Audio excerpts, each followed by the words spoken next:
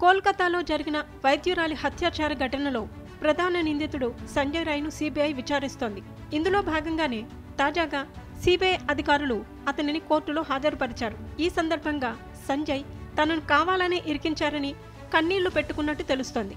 ఇందుకు సంబంధించి కొన్ని నేషనల్ మీడియాలో కథనాలు వస్తున్నాయి. అంతకుముందు తానే హత్యాచారం చేశానని కావాలంటే ఉరి తీసుకోండని సంజయ్ వ్యాఖ్యానించినట్లు వార్తలు వచ్చిన విషయం తెలిసిందే. అయితే ఇప్పుడు నిందితుడు మాట మార్చినట్లు తెలుస్తోంది.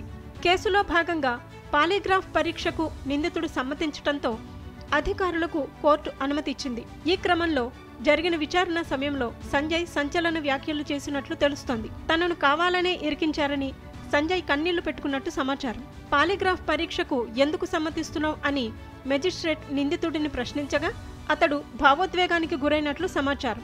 తాను అమాయకుడినని ఏ తప్పు చేయలేదని కావాలనే తనను ఇందులో ఇరికించారని వాపోయినట్లు తెలుస్తోంది. ఈ పరీక్షతో అసలు విషయం బయటపడుతుందని సంజారాయ్ రాయ్ చెప్పినట్టు సమాచారం. దీంతో ఈ కేసు మరో కీలక మలుపు తిరిగింది. కాగా సంఘటన జరిగిన ఆర్జీకర్ మెడికల్ కాలేజీలో అర్ధరాత్రి సమయంలో నిందితుడు వెళుతున్న దృశ్యాలు సీసీటీవీ కెమెరాల్లో రికార్డయ్యాయి. తాజాగా అధికారులు వీటికి సంబంధించిన వీడియోలను విడుదల చేశారు. ఈ సమయంలో నిందితుడు బ్లూటూత్ ఇయర్ ఫోన్స్ ధరించి ఉన్నాడు. కాగా సెమినార్ హాల్లో వైద్యురాలి మృతదేహం గుర్తించిన ప్రాంతంలో ఈ బ్లూటూత్ను పోలీసులు స్వాధీనం చేసుకున్నారు. సీసీటీవీ ఫోటో ఆధారంగానే సంజయ్ని పోలీసులు అరెస్టు చేశారు.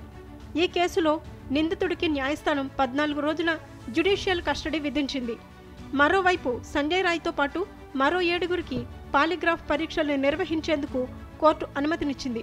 ఈ క్రమంలో లై డిటెక్టర్ పరీక్షకు సిబిఐ అధికారులు సన్నద్ధమవుతున్నారు.